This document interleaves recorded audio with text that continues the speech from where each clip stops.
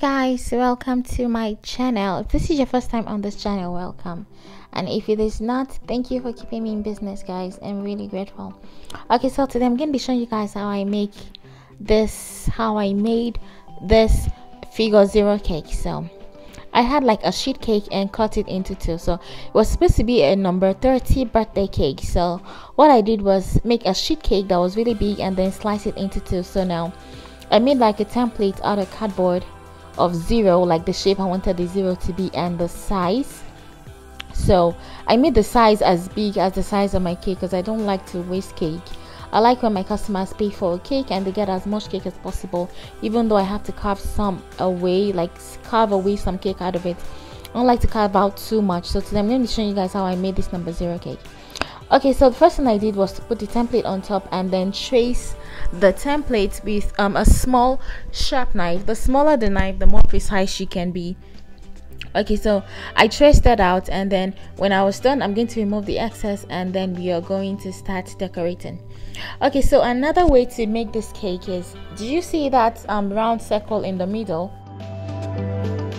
Okay so i was referring to the round circle. That's supposed to be in the middle of the zero so it can like form a zero with a hole in the middle.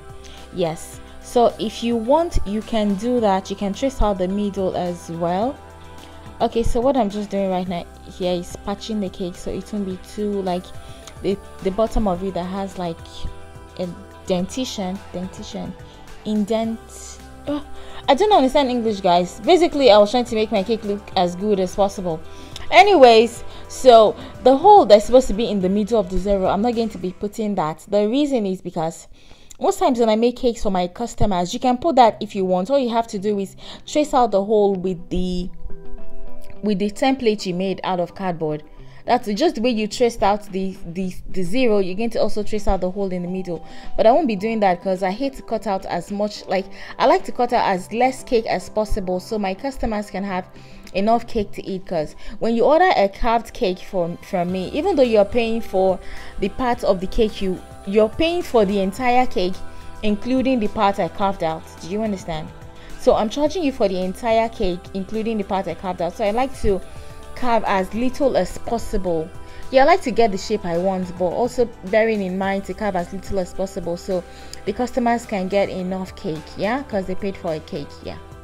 Okay so this cake is going to be covered in fondant and after i already crumb coated it with buttercream so i'm going to stretch out my fondant in the same like in the shape of the circle. Like you know the zero i made yeah? It's kind of oblong like it has like tall tall but i don't understand english today guys i took the corona vaccine today i took pfizer so i kind of feel a little weird and this video is uh, taking a lot of energy from me. I didn't film this tutorial today.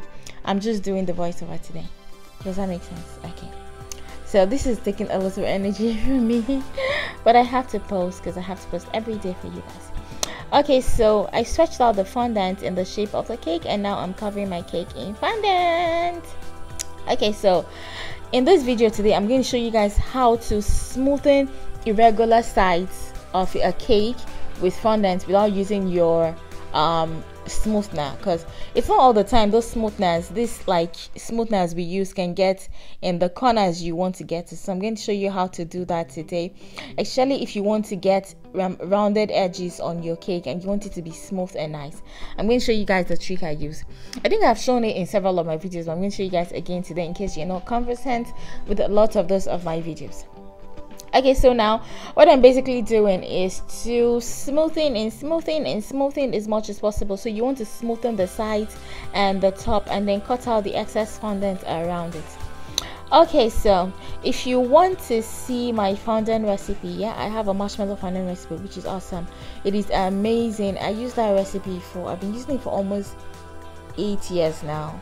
And that was because when i got to ukraine i didn't know where to get um fondant um, ingredients for you know glucose and glycerin and all of those like things for cake decorating so. But i knew how to get icing sugar and i knew how to get marshmallows. So i kind of came up with my own fondant recipe and i've used it for eight years and it is amazing. I've spent time refining it basically based on my needs and you know as my skills were improving. Anyway this video is not to you know praise myself on my fondant you know prowess.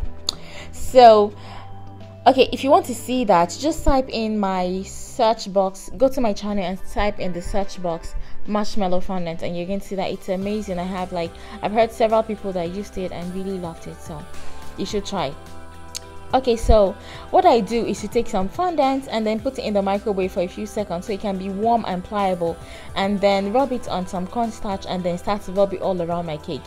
Basically it smoothens a lot better than when you use the plastic smootheners most cake decorators use.